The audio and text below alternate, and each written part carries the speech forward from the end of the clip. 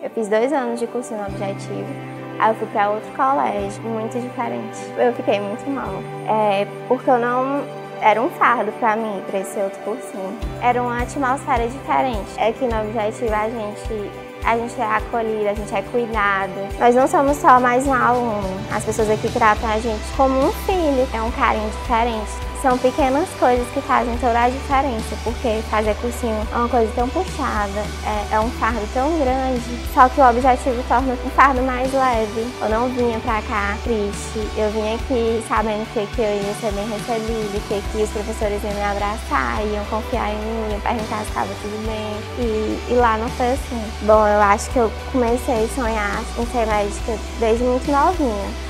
Sempre quando a gente ia comprar brinquedo, meu pai me levava para comprar algum brinquedinho, eu ia direto naqueles brinquedos que era a bonequinha que a gente dava injeção. Então esse sonho começou muito cedo e eu nunca tive uma segunda opção. Sempre vale a pena a gente lutar pelos nossos sonhos. Eu sou a prova viva de que a gente não deve desistir. Eu tentei durante quatro longos anos. Foram anos muito difíceis. Eu não esperava, eu não esperava mesmo passar. Quando você passa e que você vê que aquele sonho vai se tornar realidade, tudo vale a pena. Quando você vê o seu nome na lista, quando você vê a felicidade dos seus pais, dos seus irmãos, dos seus parentes, todo mundo muito feliz, muito orgulhoso. Foi uma sensação ímpar e na verdade ainda nem caiu a ficha. Não sei quando vai cair, mas até agora não caiu.